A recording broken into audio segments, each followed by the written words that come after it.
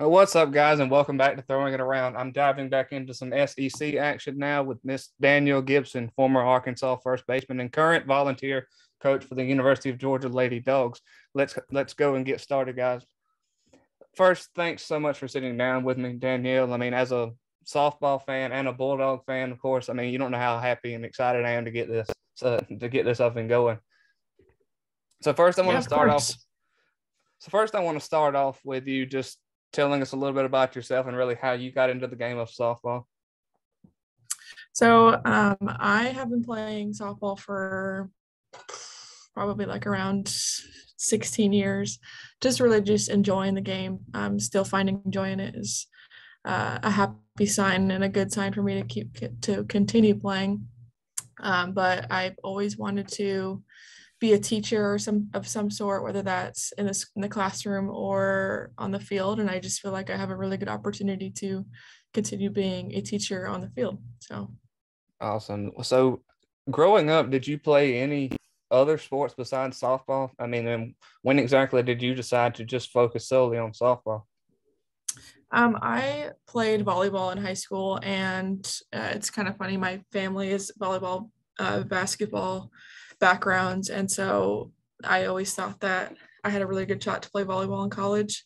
Played softball and I've always loved it, but kind of fell out of love with it around 13 and 14 and decided that my path was going to be uh, volleyball. And then I got hurt, needed surgery my sophomore year of high school, and softball it was. So it's but it's been it's been great. I just love sports in general and so either i was playing either one i feel like i would have given my heart to either one so. Oh, for sure for sure. So you actually started your college career off in tempe at, uh, at arizona state and i actually didn't know that until i started trying to do some research on you and i, I honestly i was telling my brother a while ago i thought you were your entire college career was at, at arkansas because that's where i really started to, to, to notice you at. But uh, just kind of tell me how uh, how you ended up choosing Arizona State, and then I want you to jump over to Fayetteville and how you ended up there. So I picked Arizona State out of, out of high school. I'm a Southern California native, Pac-12. Uh, I was bred to participate in, and so um, anything Pac-12 was really the goal. And so I had some SEC schools looking at me, um, some Big 12 schools looking at me, but ideally I would have I loved to stay close to home. I have family in Phoenix and in Queen Creek and Mesa. So um, it, it just made sense for me to go to Tempe to be around family and for my family to only have a five hour drive to come and see me play. And um, I loved my time in Tempe. I thought that I learned a ton about myself and learned a ton about how to be a teammate and just wanted a little bit more from a program. And so I decided to be one of the first to put my name in the transfer portal. That's when the portal kind of hit, and had no idea that Arkansas was going to be my destination. But here we are now. i'm keep inching further and further away from my family, which they give me a hard time about. But it's it's all for the betterment of my career and and what I want to uh, be as a head coach and so I just feel really grateful that Arkansas gave me an opportunity to come and play at their school and to be able to represent them in a way that uh, I was able to.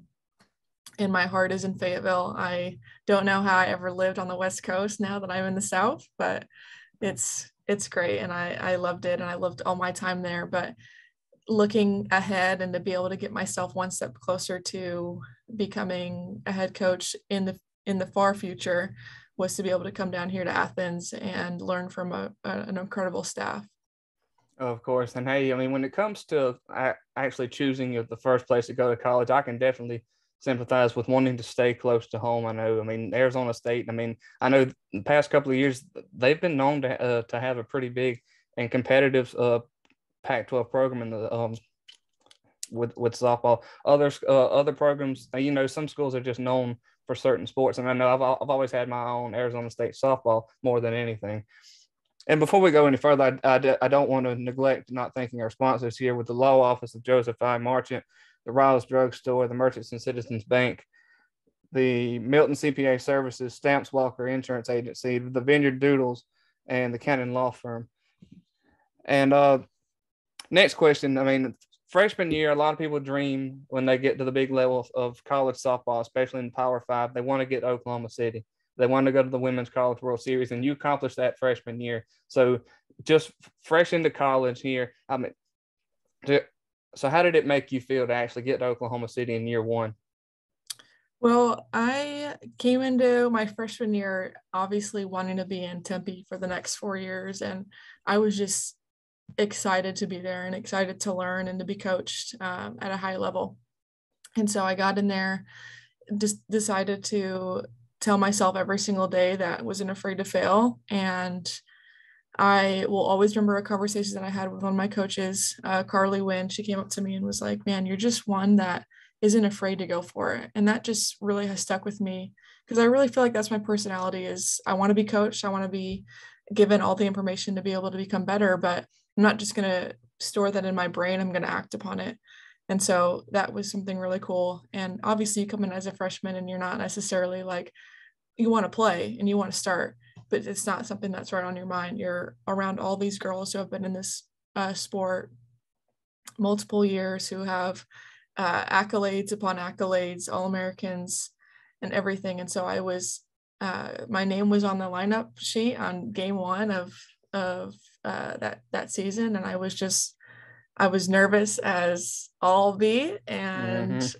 but I was able to kind of just bring myself to earth again, day two, and see my name on the lineup card again, and and go at it, and just started performing, performing because I wasn't afraid to mess up, I guess, and so ended up playing that whole year, doing some pretty good things for for Arizona State and and our team, and being able to clinch the title to be able to go to the World Series that year was something that I'll never forget. And one of my best friends that I was able to gain from this experience, uh, G Juarez, I just remember giving her the biggest hug after we won and we beat South Carolina, and it you know it was an experience and and something that I'll cherish forever. And then walking into Oklahoma City, day one of practice, and just feeling all the feels and how nerve wracking mm-hmm. it was. And you kind of forget how to play softball there for a second because you're just like, oh my gosh, this is what I've dreamt of my whole life. And I've watched my favorite players come and play on these stage on the stage. And you know, it's it's something that I was able to take to Arkansas and and incorporate that kind of mindset to get there. So and of, of course, when y'all got to Oklahoma City, I mean, I've heard in interviews before players talk about, hey, it's a, it's, it gets the adrenaline pumping, but also, like you said, you get nervous of, of you, you for a second there, you forget, like you said, how to play softball. So did, did the adrenaline hit you first, or did you get very nervous once you once you stepped out to first base on that first game and uh, out there in OKC? I think I was honestly my nerves were were just cooking. I we played Oregon our first game and there was um, no shot that we had a shot to be down there. I think the number two seed, one or two seed that year. And I'd faced Miranda Elish three or four times prior into the season and was successful. And so I go in there and I'm just like, not thinking that we're just going to roll through them, but you get you get in there and you forget what you prepare for, and it takes an elite competitor to be able to really slow their slow their mind, slow their breath, and something that I just didn't have experience in. And neither of none mm-hmm. of us had experience in it. And that, that's not to give an excuse or anything, mm-hmm. but it is a different, it's a different ball game there. It's you have to really be uh, in, uh, very intentional with breathing and bringing yourself back to back to planet Earth. So Oh, absolutely. And I know times that I've watched the Women's College World Series. I mean, of course you've been there, but it looks like that you're literally being sat on top of by the crowd there. I mean, it looks like y'all are just packed in there, and I can actually see how those the adrenaline flows, but then there's so much nerves there as well. But when once once you do something that really shows out that hey, I'm I'm meant to be here, that's when it kind of starts to settle down for you, and then the then the adrenaline is comes in comes in to stay. Right, one hundred percent. Yeah. so now flipping the page, we're in Fayetteville now. Uh, you've moved up, you've moved to Arkansas, and I want to talk about like the environments that you play in in the SEC. I mean, it's it's it's a given. I know a lot of people will agree that everybody loves and would want wants to come play in the SEC, especially people down here in the South have that opinion. Now that you're in Fayetteville, I mean, other than playing at home, I mean, is there a stadium that you've played in, uh, that's probably been your favorite place to play. I mean, if you want to go back to Pac 12 days, you can, but other like, so basically staying in the SEC if you want to. Is, is there another place that you've been to where like, man, I really want to go back there? Um, honestly, here in Athens, I I wow. loved competing in Athens, and maybe that came with some good results. But I I just thought that Athens was a great place to be and a great environment. I like the way that they the fans are very respectful and they mm-hmm. just love the game. They love the sport, and not necessarily everywhere you get that and you feel that. I think right. that some places they get a little bit um, a little mean, I would say, lack right, of better yeah. words, is they get a little mean and they start saying some things about you and your family and you're like, what the heck? I'm just here to play softball. I'm mm-hmm. just here mm-hmm. to play and and and do what I love. And so, but coming here was was great. And so that's always given me a great impression. And so, which is initially why I was able to make this decision so easily was to transition and uh, move over here and of course this may sound this may sound a little biased on my end, but truly you can't go wrong with Jack Turner Stadium, man. Right, it's beautiful out here. oh, absolutely.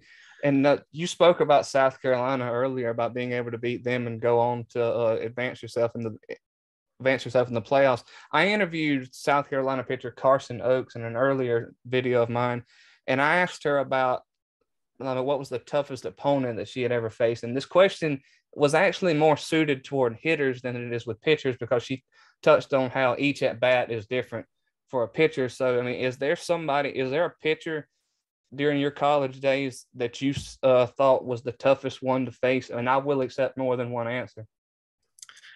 That's a good question. Um, I think that it's hard to pinpoint the toughest because you think, oh, the toughest probably have have struck me out multiple times, or the toughest have um, you know made me made me come out of myself. But i think about it and i think about competitors and people in the circle who are just not willing to give up the ball.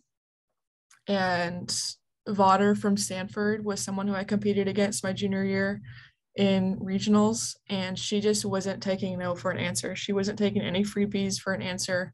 She made every pitch uh, a pressure pitch, and so I have to give her mad respect for that and you know you find some, some success off of her we were able to beat her but you have to just be that much more into the game hit into each pitch and it keeps you honest about going through the motions but i would say her is probably she's definitely one of them um, i think let's see maddie penta was had three speeds at her best which was definitely something to keep in mind when you're up to bat um, uh, I mean, Dolcini, Dolcini from from Texas just wasn't taking no for an answer. And so when you when you go up to bat with someone with a mindset like that in the circle, it's like okay, she's having some. She has her stuff that she throws and she provides, but her mindset behind each pitch that she delivers is hard to beat. And so you have to be able to match that match that mindset against her of like she's coming out for blood she's trying to beat you and you have to be able to match that same like cutthroat oh, mentality oh, that, that she that she um, displays and so i think that's why she was so successful um, you know i think that every pitcher has good days and bad days but i think right. her bad days her bad days were very little because of her mindset and the way that she approached each batter Oh, absolutely. I mean, I've I've told people before it's an absolute chess match in the head, really, between hitters and pitchers. And I mean, uh, basically, I mean, I, I was going to add to the point of what you were saying is that the toughest pitcher that somebody may have faced doesn't mean that you've never recorded a hit off of them. It's just uh, this toughest pitcher may have just made you work the hardest. Right, one hundred percent, one hundred percent. And as a player, I know you've collected many accolades over the past couple of years. Most of them kind of coincided with the emergence of Arkansas becoming the team to beat in the West over the. I know the past two years. I know you've uh, you were a two-time All-American. You were a finalist for the Collegiate Player of the Year. I'm looking at a uh, Honda Sports Award and uh, multiple con- multiple uh, multiple conference and NFCA All Region honors. But just kind of talk about the prior two seasons with Arkansas because I was kind of uh, really impressed with the emergence of Arkansas coming up. I know the coach out there is amazing. I know the past couple of years, everybody wanted to focus on Alabama as the big uh, as the big powerhouse in the uh, out there in the West. I know Patrick Murphy, absolute dominant coach out there. But talk about how Arkansas got up to that top spot. Yeah, it took a lot of um, a lot of you know this basic answer of blood, sweat, and tears, but it was finding uh, an identity of who we were as a program. We didn't have, we necessarily didn't have one coming in my my when I transferred my sophomore year. Was they had a good year before that, but what was Arkansas softball? Nobody knew. You talk about the Oklahomas. You talk about the the power offense that like Georgia has, Oklahoma has. You know that they have great offensive uh, players who can put up some runs. But Arkansas, you, you're like, do they have a, or are they good because they're defense? Are they good because they're pitching? Are they good because they're hitting? So they had Mary Haff that year to be able to deal with them in the circle with Autumn Storms to complement. But we were finding our identity. We were still trying to compete and show ourselves not as just a one hit wonder program where we had one year, but being able to maintain that success. And so our that sophomore year, we had a ton of growth that we had to go through was okay, how do we continue this level of success? And so you saw us go down a little bit. We are at this high, we go down a little bit. We're just finding out who we were. We're, we're understanding what it looks like to be a good teammate, how to respectfully be coached by our coaches, um, and finding ways to get into a spot where we understood that it takes what it takes. It doesn't have to be pretty and then we had some great additions along the way. Um, that freshman class that I came into, so that, that sophomore class that were my age, were tremendous athletes. They just didn't have the the years that they needed to be able to, or not necessarily the years, but the the time to be able to be showcased. And so it just took time for all of us to be able to mesh together. And I'm grateful that we had the four years that we did because of COVID in there to really get um, in with each other. And it doesn't look like we were best friends or had the greatest relationships. It just looks like we respected the crap out of each other and we loved each other on the fields so much that it showed in our performance. And that's something that I would love to get any of my players to, to really, any of my kids I give lessons to, or even the girls here at Georgia, is um, it's not all about success on the field. It's really about how can you be a high level human and be a high level teammate and connect with your girls on the field. And so you just saw us mesh more. You saw us mesh more my junior year where we were just having each other's backs. And then we added some really great additions my senior year, like Taylor Ellsworth and KB Sides. And you get a little bit more talent in there. And man, we're connected. We've got more talent. We've got depth in the circle. And it was like we were unstoppable. We felt that and we competed like that. So Oh, absolutely. I know there were certain stretches of the season where people are wondering if y'all were ever going to go down at all. I mean, and it was just absolutely impressive. In 2021, y'all captured the regular season title and were, they fell short in the uh, fell short in the tournament. You'll get the new girls in there coming in 2022. Y'all take it one step further and uh, unfortunately fall in the supers to Texas. And I mean, that was just an absolute dominant Texas team that y'all fell to in the supers. I know they eventually fall to surprise, surprise Oklahoma in the finals but just um, just all around. I mean, I was absolutely looking at Alabama. I go back to the stereotype of everybody looked at Alabama, and I saw Arkansas. Y'all came up and just blew everybody away by the way y'all were performing. Yeah, and I think that's how we connect with a lot of our fans. Is is mm-hmm. at in Arkansas, you play in a in a stadium where you have 3,000, 4,000 fans there each game and you just fall in love with the way that we play. It's not that we're mm-hmm. good at softball, it's because how we connect with each other, the hype that Hannah Gamble has at third base, the mm-hmm. the love you see um, after every single home run. And it's just little things like that where the fans really feel like they're connected with the girls. And that's been something that I've always cherished that I'll take into my coaching career is uh, how can we incorporate just loving each other and people loving the way that you play, loving the style that you have. And I'm actually glad you brought that up. That was one other play I was trying to think of that really kind of got y'all on that roll to Hannah Gamble. I mean, just absolute beast up there, uh, up there in the box as well. I mean, she handled the hot corner well, and and you know that's another thing too. I mean, just pure talent can get you far enough too. But I mean, you think about the environment around the team. I know Arkansas, y'all had that following all year. Fan base never really thinned out by the way it looks. I mean, can, I mean, y'all traveled well, and just the electricity that was there when y'all played in Fayetteville as well as one thing that kind of like pushed y'all along and like pulled the opposing team back to where y'all would just y'all would capture those wins and just get better and better. Mm-hmm. Yeah, and I got to give credit to Coach Deifel was she was just very into with like she was just into getting fans to be softball like softball fans. She was into getting Razorback fans to be softball fans, and so she was always out in the community doing that but it was like she would walk around the circles and the, everyone would just be waving at her and she'd be introducing herself and being able to set that example. And then here here you are now where we're having our girls me included of like thanking our fans for being there like waving to them when we're walking into the stadium. And so making them feel connected was huge.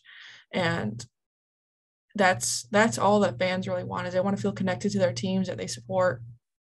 And they felt connected to us last year and you know so it's it's it was an exciting and, and atmosphere and environment to play in for sure. I know there's been several years in the several years in the past now that Arkansas has kind of been overshadowed. The softball program really has been kind of been overshadowed by the su- success of the baseball program as well. And I, I can see now that I mean y'all are probably already right on the tail of the baseball program, if not probably. I know I know I know this past year y'all overshadowed the baseball program for sure, and I mean just for the overall success. So just kind of moving on now. Now that you've uh, just a few just a few months ago, you wrapped up your rookie uh, rookie excuse me rookie season with Athletes Unlimited softball. You're professional now. Uh, teams are, I, I, believe, if I got this, uh, if I understand this right, teams are named after a certain player on the team. Is that because of a, are, are they designated as a captain? Maybe. Yes. Okay, yes. so for those who may not know, like, can you explain the or show the difference between this and some other leagues like National Pro, Pro Fast Pitch with other well-known teams like the USSSA Pride or the Houston Scrapyard Dogs. I know they. Ha- I know you'll have a big partnership with ESPN. I know, and it's starting to gain uh, gain headway now. Yeah. So there's two. There's really three kind of leagues, but two main leagues. You have the um, WPF, and they've got USSSA, um, they just added a couple more teams. They have uh, a couple like a Vipers team. Mm-hmm. I couldn't tell you exactly what they what they have, but they are traditional seven inning games. They go and travel and compete and play against each other. And with Athletes Unlimited, they've incorporated a scoring system that not only allows you to compete individually, but to also involve competing a, eh, as a team. And so you get points for each hit. So like a single is like 10 points, a double 20, triple 30, home run 40. Each out a pitcher has is four is four points. And so as you go through these five weeks, these points add up. But at the end of each week, so each week is three games, the top four um, point performers will then be announced as captains. And so that Sunday, they'll be announced captains. Monday, they'll go through a draft. And so they'll have all 60 of us in a draft room and available on the sheet. So 50, 56. And these four athletes get to pick their teams now, essentially. And so they're picking based on um, pitchers, they need top performers, they need hitters. And so everyone has a little bit different of a um, like uh, strategy strategy but it is a pretty cool system to be able to go in there and not be based basically just on social media platforms or whatnot. It's like who actually performs and who can generate the most points. And sometimes it gets a little tricky because if you're on, if you get lucky and you're on a winning team each each single time, then you're obviously going to rack up some more points because each inning win is 10 points. So each time you win an inning and then each time you win a game is 50 points. And so the, all that adds up very quickly. So it gets it gets a little tricky because you're having to think about how can I perform as an individual? So how can I rack up my own individual performance points? And then how can I also help the team win? And so things like sacrifice bunts and and like stuff like that, walks, hit by pitches are also awarded points for because it is for team performance. So, okay, I got you. I got you. and now, now that I understand it a little bit better, I actually kind of like this. And I know you I, I, did a little bit more research, you ended up finishing 18th on the leaderboard, I believe, with uh, mm-hmm. 1,336 points. I mean, that sounds like a pretty good finishing position to me. I mean, I, I'm honestly I don't know enough about it to really uh, critique a finishing position, but it sounds like you ended up finishing the year pretty well. Yeah, I mm-hmm. so I played in AUX and AU the two different seasons, and mm-hmm. I actually like broke my wrist the week mm-hmm. one of the first season, and so I wasn't fully healthy until week three of the final season. So I didn't get to play until week three, week four, and week five, and so um, I felt like I was able to play a little bit of uh, catch up the last three weeks and be able to move from like the low 50s because I wasn't able to compete to um, the teens. So I, I was happy with my performance. I was uh, excited with how I handled myself and how I handled my business. And obviously, I'd always like to be finished finished higher, but um, realistically, I think I did a pretty a pretty de- a decent job with the cards I was dealt with. So. Gotcha, gotcha. I, and I, I had no idea about you getting hurt. I mean, I'm sounds like you uh recovered pretty quickly by it. Yeah, I did my best. Yeah. um, this is something I've held off from asking because I thought it fit better here. And now, uh, your jersey number changed. Well, whenever you got into Athletes Unlimited, I know there's a oh, well, I think it's pretty cool. There's kind of a special meaning to number 41 that what I've read about. I know you had some family ties to the number 41. Can you kind of talk about that? Yeah, so I wear 41. It was my dad's basketball jersey. And I, it's funny because this is like a core memory. I distinctly remember when I was signing up for my first year of eight and under in rec leagues, I had the opportunity to um, choose my number. And so I run over to my dad and he told me my sister who was just born and he's holding my sister, and I'm like, Dad, what number should I be? And I think the previous year for T-ball, I was number nine. So I had no, like, I had no idea what I wanted to wear. And he goes, You should be number 41. And I was like, Okay. So I go over to my coach and I say, I'd like to be number 41. So he writes me down and it's kind of just built from there. And so I have two younger sisters and they've been 41 their whole lives. Um, and so he has all of our jerseys that we've given him framed and in his office. And so they all say like Gibson 41 underneath. And so it's been a pretty cool thing to be able to represent him and feel like I have a tie to my family while I'm playing. And so I'm a pretty sentimental person. And so that definitely has given me comfort over the years of feeling like I have my dad and just my family with me. Um, and then I had to there was 41 already taken in AU, and so mm-hmm. I had mm-hmm. to go to I had to pick five, and so I felt like four plus one was a good a good little uh, like thing I could do with it. But I mean, I'm I think to once, make it in somehow. Yeah, I'm once 41 is open, I'm uh, don't care what size or what I have to do for it. I will be wearing 41. So absolutely, hey, I love it. I'm a pretty sentimental person as well. So uh, moving on, let's I saw where you're at. The, the does every player play for an organization under this? I believe. So are you playing for the? Uh, I hope I. This looks like the Cajun way of saying go. Uh, go mm-hmm. Teal. Go mm-hmm. Teal Ovarian Cancer Awareness Foundation. I'm. This is. I'm trying to connect this somehow. Does this have any connection to Alex Wilcox? It does. Yes. Okay. Mm-hmm. For who mm-hmm. played at Mississippi State. Okay. So can you kind of touch on what that organization is? I mean, I know it goes toward ovarian cancer research, but I mean, how exactly did you come to, to uh, decide to play play for this organization?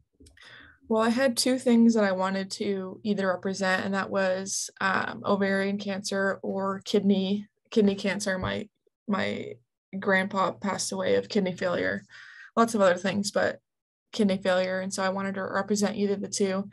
And I've just had a couple close people in my life um, have ovarian issues. And so I wanted mm-hmm. to bring awareness to young women like Alex Wilcox who may not necessarily feel like it is the time in their life that they'll be diagnosed with cancer. I mean, no one at the age of 19 or 18 or however old she was mm-hmm. should ever be diagnosed with cancer, but being able to be aware of those symptoms and and what comes with that is huge. And so just the education part, I had a uh, conversation with Beth, Coach Beth Torina at LSU, who's one of the founders, and she told me that the money doesn't just go to research; it goes to the women who have already been diagnosed with ovarian cancer to be able to trans like transport themselves to any type of hospital that they need for care. And so I was there was one I think she sent me that it had like a four hour drive or whatever. And so that this money that I've been helped being raised or the the money that I've been raising through Athletes Unlimited is going to help women and families be able to get the treatment that they need um, a little bit easier and, and more affordable for them.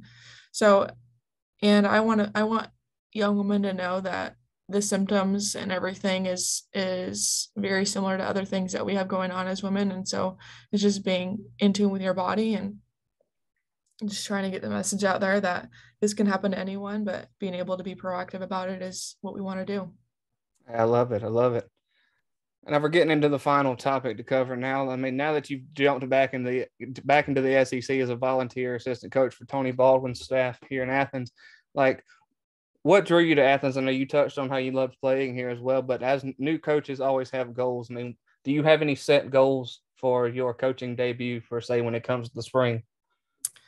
Have necessarily any goals. I just want to be able to be there for the girls individually. I think that I've had mm-hmm.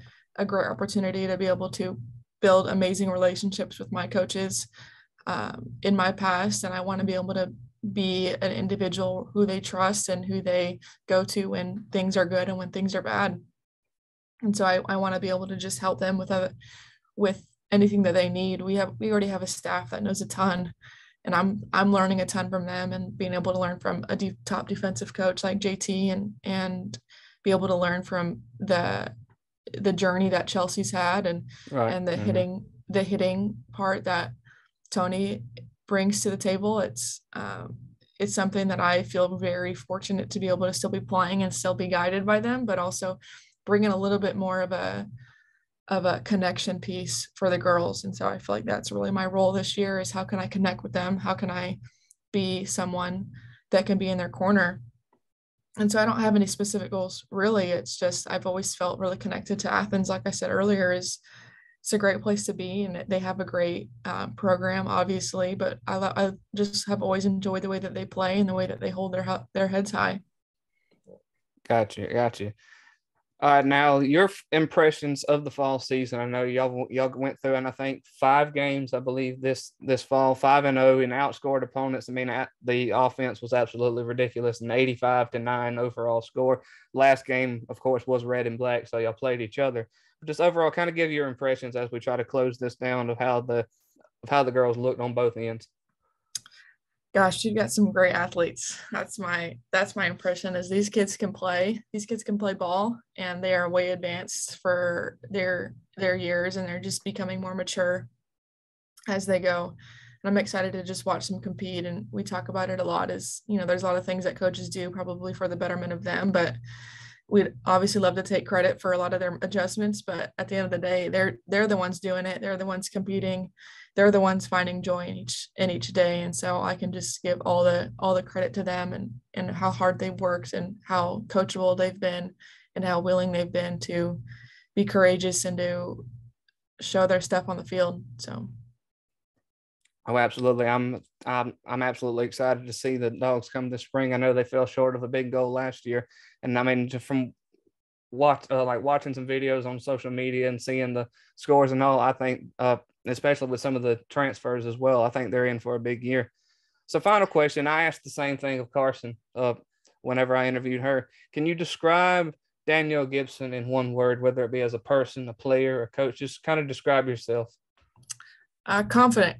Conf- nice. I like it. I like it. Confident, definitely confident. Confident in my ability to be a sister, to be a daughter, to be a wife, to be a coach, to be a player. Uh, confidence is uh, is how I hold my hold my head. I like it. I like it.